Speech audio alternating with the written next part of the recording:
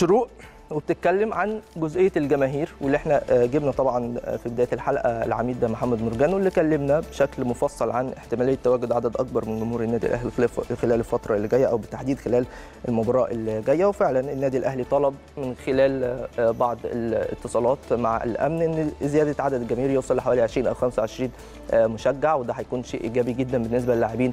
إن شاء الله يديهم دافع قوي للمباراة والفوز فيها. نتمنى طبعا من الأمن وإحنا أكيد بنكلم لهم كل الاحترام والتقدير والناس أكيد بيعملوا مجهودات عظيمة جدا وطبقا لرؤيتهم إن شاء الله.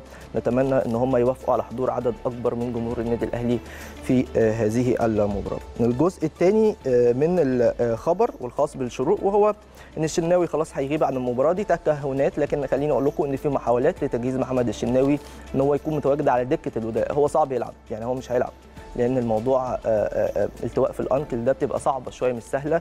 يعني نيمار مثلا لاعب باريس سان جيرمان جاله التواء في الأنكل بقاله 3 4 أسابيع مش موجود. بس طبعا ممكن الدرجة تختلف درجة الإصابة تختلف من لاعب لآخر لكن إن شاء الله نتمناها سليمة. لكن هو مش هيكون متواجد في التشكيل الأساسي وارد إن هو يكون متواجد احتياطيا بالنسبة للنادي الأهلي.